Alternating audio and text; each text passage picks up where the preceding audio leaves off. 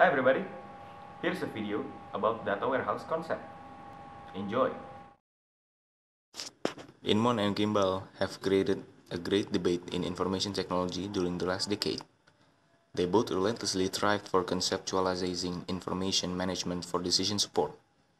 They approached the problem with different philosophies, design techniques, and implementation strategies.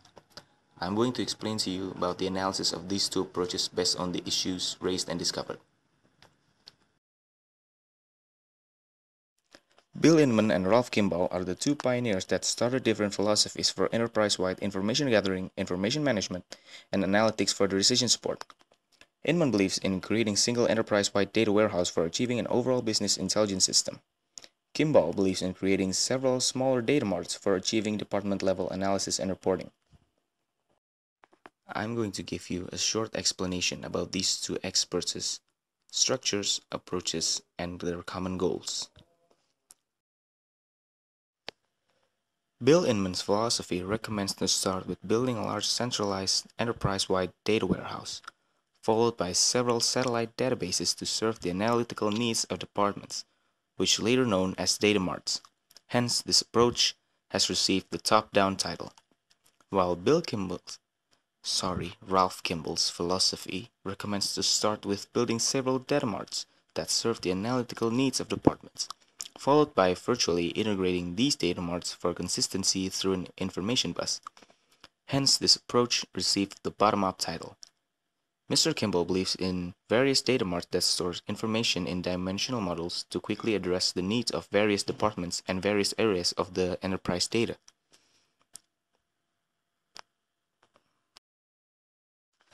And now for the structure. Besides the difference in approaches, Bill Inmon and Ralph Kimball also differ in the structure of data. Inmon believes in creating a relational model, which is the third normal form whereas Kimball believes in creating a multi-dimension model, which is a star schema and snowflakes. Inmon argues that once the data is in a relational model, it will attain the enterprise-wide consistency, which makes it easier to spawn off the data marts in dimensional model. While Kimball argues that the actual users can understand, analyze, aggregate, and explore data inconsistencies in an easier manner if the data is structured in a dimensional model. Additionally, to enable the information bus, data marts are categorized as atomic data marts and aggregated data marts that both use dimensional model. Irrespective of the structural differences in the model, both Inmon and Kimball agrees that there is a need to separate the detailed level data from aggregated level data. Though Inmon and Kimball have different philosophies to their approach, they do tend to agree with each other in an indirect manner. Though Inmon's basis is on a single data warehouse, he stressed on iterative approach and discouraged the Big Bang approach. On the other hand, though Kimball's philosophy is too quickly to create a few successful data marts at a time, he stressed on integration for consistency via an, via an information bus.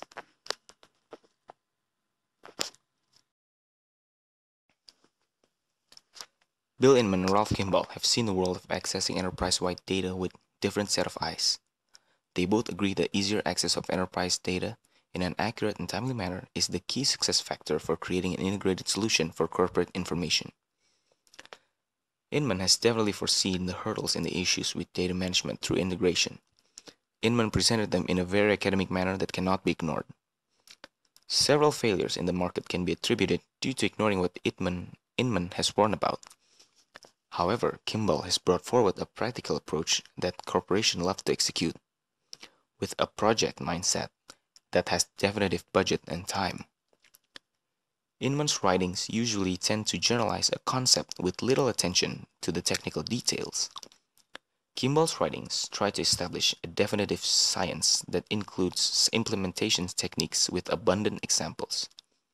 However, Data accuracy is still the monster that needs to be conquered by several organizations.